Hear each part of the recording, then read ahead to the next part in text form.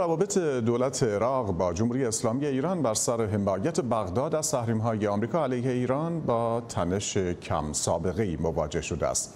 رسانه های عراقی از روند رو به پایان نفوذ سیاسی و اقتصادی ایران در عراق خبر دادند. برای بررسی بیشتر علی جارمردی از اربیل کردستان عراق با ما از علی چرا سفر حیدر عبادی نخست وزیر عراق اولا به تهران لغو شده و این بحث پایان نفوذ ایران در امور عراق چقدر ریشه در واقعیت داره؟ ضمن که به حال به مبادلات عراق و ایران اشاره خواهی کرد و اینکه آیا عراق بدیلی برای جایگزینی ایران اساسا داره یا نه؟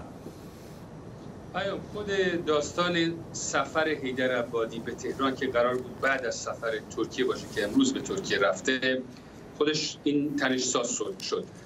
وزارت خارجه جمهوری اسلامی گفت که ما خبر نداریم از چنین سفری. ولی دفتر نخست وزیری عراق سه روز پیش گفت که آقای حیدر عبادی این سفر رو لغو کرده. امروز دوباره تلویزیون العراقیه که وابسته به دولت عراق هست بار دیگه گفت که یعنی به نوعی در پاسخ غیر مستقیم به وزارت خارجه ایران که حیدر عبادی سفر خود به تهران رو لغو کرده. دلیلش این هست در واقع انتقادهای شدیدی که به ویژه از کانال های خبری مثلا تسنیم خبرگزاری فارس و به ویژه اصولگرایان ایران انتقادهای شدیدی که از حیدر عبادی به میان اومده. حتی ایشون رو آقای عبادی رو متهم کردن به خیانت. به این دلیل که گفته به خاطر منافع کشورش مجبور هست که تحریم های آمریکا علیه ایران رو عملی بکنه و به ویژه اجازه نده که دلار پول نقد دلار به ایران انتقال پیدا بکنه که یکی از راههای اصلیش در واقع عراق هست.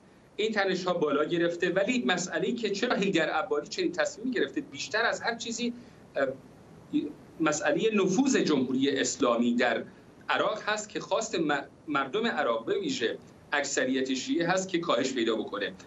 در دو ماه گذشته این خواست در سطح تظاهرات مرکز و جنوب عراق شهرهای عمدتا شیعه نشین بارهای بار مطرح شد شعارهای زیادی سر داده شد های آیت الله خامنه‌ای آیت الله خمینی سوزانده شد و به نوعی از دولت مردان عراقی خواستند که اجازه ندن جمهوری اسلامی نفوذ پیدا بکنه در عراق. این مسئله به نوعی میشه گفت که آقای حیدر عبادی رو تشجیع کرده که در این زمینه به گفته خودش به مردم عراق پاسخ بده و در این راستا گام برداره. مسئله که گیتا اشاره کرد مسئله به ترکیه و به عربستان سعودی عراق داره نزدیک میشه.